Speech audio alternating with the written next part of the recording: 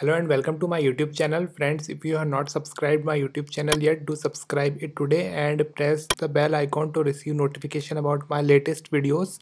In this video we will see how to fix if yes button is missing from the UAC or user account control uh, prompt.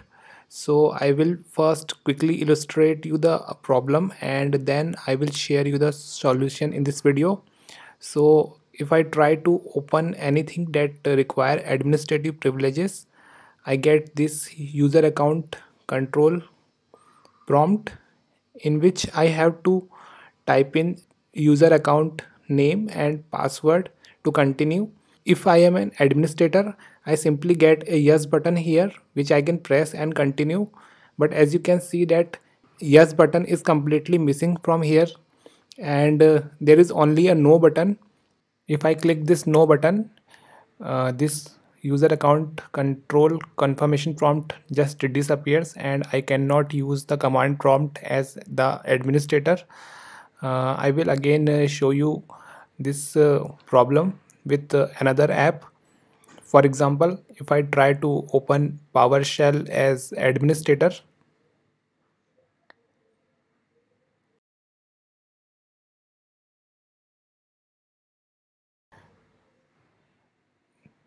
you can see that the same problem occurs here. And uh, yes button is, is missing from the UAC confirmation prompt. And there is only a no button. So I cannot use Windows PowerShell as administrator as well. So how to fix this issue? Let us see the solution. You have to first boot from the Windows 10 ISO or bootable USB basically we will use here the command prompt and if you do not uh, use uh, windows 10 iso file or bootable usb the command prompt will not work because there are no administrator account on the system. Then you will receive a windows setup screen. Click on next and then click repair your computer link.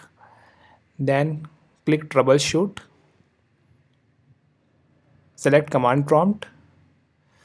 And you are now in the command prompt window where you have to type net user. And this will display all the accounts uh, present on the system. Now we will add a new account using the command prompt. So we will type net user.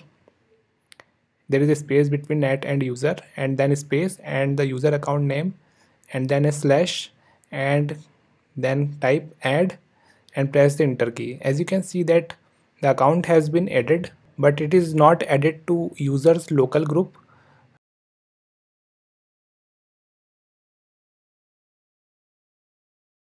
We do not want this user in the uh, users group. Rather, we want to add this account to administrators group and this will solve the issue for us. So we will type net space local group space administrators space the user account name space slash and add and press the enter key. You can see that the command has completed successfully. This means the account is now an administrator account.